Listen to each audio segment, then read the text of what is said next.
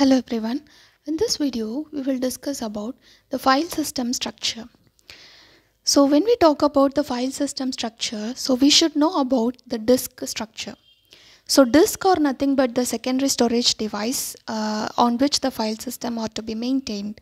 So there are two characteristics that plays a major role in disk which is nothing but the first one is a disk can be rewritten in place which means disk can be divided into several number of partitions and we used to call all those partitions as a blocks.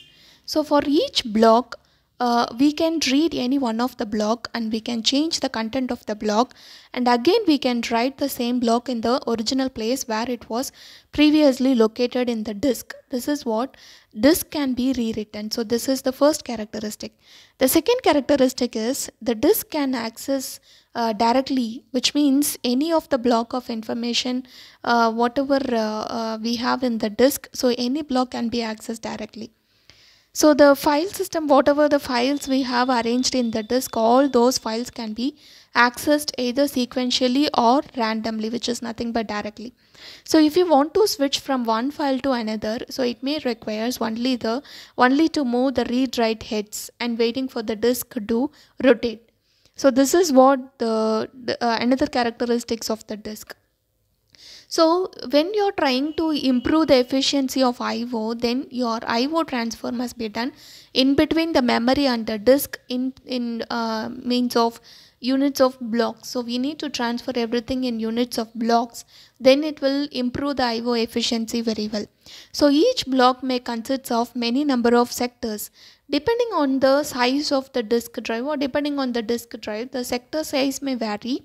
Uh, so it may varies from 32 to 4096 bytes. Usually it will have only 512 bytes the sector size. So uh, this file system uh, so when we are uh, uh, talking about the disk so this file system plays the major role on the disk because it provides the convenient and efficient uh, access to the disk uh, by allowing the data to be stored retrieved and also located easily so this file system, it should possess two different uh, design problem. The first one is how the file system will uh, should look to the user. So how it has been organized. So how it has been structured. So we should we have lot uh, about the file file system which are nothing but how uh, the operation has been done on the file. So how to define a file? What are all their attributes? How the directory structure could be maintained for organizing the file? So these are all the first design issue. And the second design issue which is nothing but whenever you're uh, creating any algorithms or data structure so that to be mapped with the logical file system onto the physical file system. So how the mapping has been done? So that is actually the design i mean second design problem so the file system can be composed of many different levels. So the uh, it consists of uh, a layered uh, design. So each level in the design will use the features of a lower level to create the new features of the higher levels. So here we have several levels of the file system structure. So first one is application programs. So we will start uh, I mean, we'll start discussing from the uh, lower level, which means at the bottom level. So whatever the things we have, which is nothing but devices, and they are said to be I/O devices, input and output devices, and then we will be having the I/O control. So what the I/O control will do? It consists of many device driver, device driver, which are nothing but um, so like a interrupt handler so which is used for transferring the information between the memory and the disk system so a device driver can be act as a translator which means it will retrieve the information as a high level language and uh, uh, it will get the input as a high level language and it will be translated into a machine level language so that the computer or the machine can uh, perform the operation whatever it is given by the user. And also it is used for specifying the bit patterns to special locations in the IO controller's memory to tell the controller so which device location um, that we want to retrieve and what actions to be done. So this is what the information or these are all the set of things will be done by the IO control. And the next one is basic file system. So this file system which is uh, used for uh, providing the commands or the instruction to the device driver. So in order to perform any read or write physical blocks on the disk which means if you want to perform any read operation on write operation on the disk that uh, on the files that were present in the disk then we can go with this basic file system. So the all the physical blocks that we have on the disk should be identified by its specific uh, disk address. Like uh, drive 1 so what is the cylinder number? What is the track number? What is the sector number? So all those information you need to uh, provide whenever you want to access any of the file particular file in the disk so this layer also manages the memory buffer and the caches because um, so even the temporary storage such as uh, cache and the memory buffer uh, has the capability of holding this entire file system and also uh, um, so directories and also some data blocks.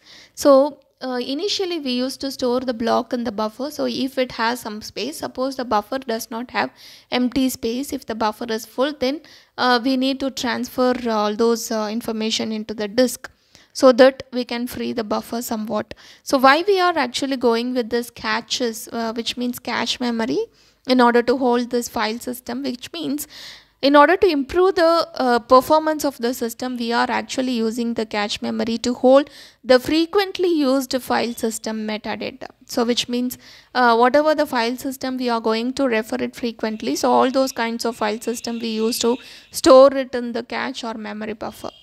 And the next one is file organization modules. Next layer or next level is file organization module which means uh, it this uh, mod particular module will know about the information uh, which means about the files and their logical blocks as well as the physical blocks. So uh, we need to uh, translate the logical block address into physical block address for any of the basic file system to transfer. So each files will be holding only the logical numbers say for example from 0 uh, through to n so since the physical blocks containing the actual data, uh, so we need to match it with the physical block. So if it does not get matches, then the translation is needed to locate each block. So the file organization module will also include the information such as free space manager.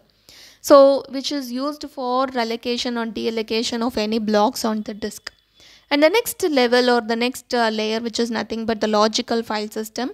So this particular file system is used for managing the free uh, i mean metadata information. So metadata is nothing but it will include the entire thing about the file system structure except its content. So except the actual data of the file all other related information will be stored. That's what that is what metadata so here the logical file system manages the directory structure to provide the file organization module with the information so that is given a symbolic file name right? So it maintains the file structure with the help of file control block. So when we talk about the process so we actually used the process control block in order to hold the information about the process in the same way, we are going to use the FCB that is file control block in order to hold the information about the entire files. So each and every file must have their own set of uh, uh, FCB that is file control block. So in Unix file system, we used to call this FCB as inode. So there will be one specific unique number will be provided for each and every file system whatever we have. So there may be many different number of uh, file systems that were available. So all those uh, files or the file system can be maintained with a unique number. That is what inode number. So all these layering of structure of the file system uh, implementation will avoid the duplication of the code so which means it is not completely avoided but it is somewhat uh, minimized. The duplication of code will be minimized because as i said there could be many number of uh, different file system or to be maintained in the system. So each and every file system will have their own set of uh, logical file system and also the file organization modules. So this layering will minimize the uh, duplication of code but anyways it also has some disadvantages like so we need to so operating system has to take the decision about how many layers has to use and what each layer uh, it, it, it could it uh, i mean uh, what each layer will be doing. So this could be a major challenging task in designing the new file systems. So this is what about the file system structure. Thank you